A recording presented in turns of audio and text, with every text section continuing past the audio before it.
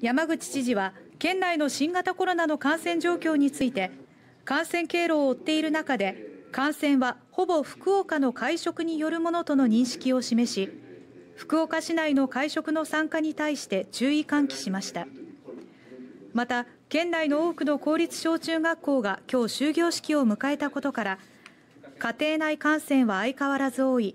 1人感染すると大体家庭内はいずれ出るという状況が続いていると警戒感を示しました。一方販売が来月末まで延長されることになった県内で使用できる GoTo イート食事券について産業労働部の井上博副部長は多くの県民に利用してもらい飲食店を支えていただきたいと呼びかけています。